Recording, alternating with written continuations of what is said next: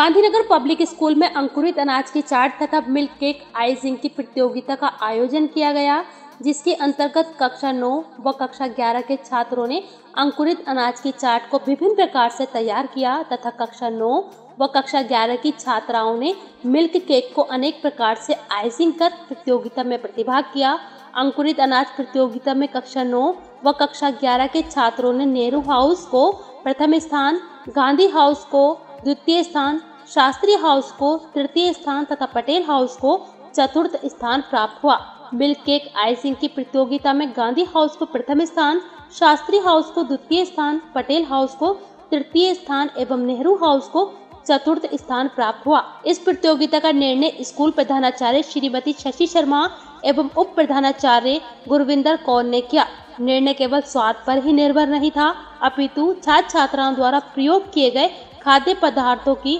पोषकता व उनकी प्रस्तुति पर भी निर्भर रहा। प्रधानाचार्य श्रीमती शशि शर्मा जी ने स्वास्थ्य की दृष्टि से पौष्टिक आहार के विषय में छात्र छात्राओं से अनेकों प्रश्न किए तथा उनके ज्ञान वर्धन के लिए पौष्टिक आहार की जानकारियाँ दी, जिससे सभी छात्र छात्राएँ पौष्टिक आहार लेने के लिए जागरूक हों एवं जिससे अधिकतम शारीरिक व मानसिक विकास हो सके। श्रीमती नैना गुप्ता, विभोर भटनागर, श्रीमती नेहा गुप्ता आदि ने कार्यक्रम में सक्रिय भूमिका निर्वाह करते हुए अपना अपना योगदान देते हुए प्रतियोगिता को सफल बनाया।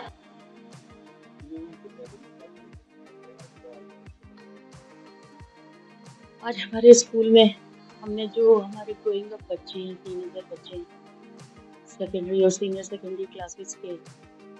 इनको हमने कुछ प्रयास किया है जिससे वो जाने कि जो कुछ वो खाते हैं, जो उनकी डाइट है, वो उनके लिए कितनी यूज़फुल है और उसके कंटेंट्स चाहे वो प्रोटीन हो विटामिन हो रफेज हो कार्बोहाइड्रेट हो या फैट हो।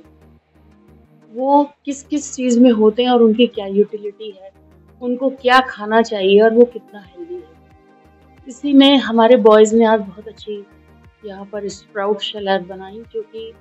वास्तव में उनका प्रयास था कि एक मिक्स डाइट हो तो उनके लिए अच्छी, क्योंकि आजकल के बच्चे समझ ही नहीं पाते कि उनकी हेल्थ के लिए क्या सही है और क्या करें इसी तरह हमारी गर्ल्स ने भी आज मिल्क केक के साथ आइसिंग की है, जिसमें फ्रूट से उन्होंने उसको डेकोरेट किया है।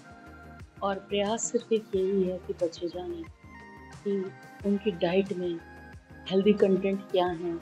और उसे वो किस तरह प्रेजेंट करें, जो खाने वालों को भी अट्रैक्ट करे और उनके लिए अच्छा इसमें वैसे तो कंपटीशन काफ़ी बड़ा था, लेकिन हर हाउस से चार चार बच्चे आए हैं टीम वर्क था। तो सभी लोग मिलकर एक अपने हाउस से प्रेजेंट करते हैं। तो इस तरह से दोनों कंपटीशन में हमारे सिक्सटीन स्टूडेंट्स तो बॉयज़ में भी सिक्सटीन बॉयज़ थे और सिक्सटीन गर्ल्स थी, जो नाइन्थ और इलेवेंथ की क्लासेस थे। और क्योंकि ये बच्चों को अब जब बच्चे बड़े हो रहे हैं तो उनके लिए इस तरह के कॉम्पिटिशन्स बहुत अच्छा प्रमोशन देते हैं, एक इंसेंटिव देते हैं कि हाँ बच्चे अब सोचें कि आगे जो उनकी हेल्थ बनाने के लिए, उनकी ग्रोइंग अप बॉडी के लिए और फ़िज़िकल फिटनेस के लिए हेल्दी खाना खाना और लोगों को प्रेजेंट करना और उसे एंजॉय करना, सभी को ज़रूरी। सभी को, सभी पार्टिसिपेंट्स और मेरे सारे हाउसेस और मेरे टीचर्स जिन्होंने इसमें बच्चों को